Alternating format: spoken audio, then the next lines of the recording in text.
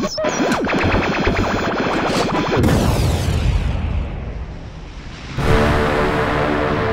my friend.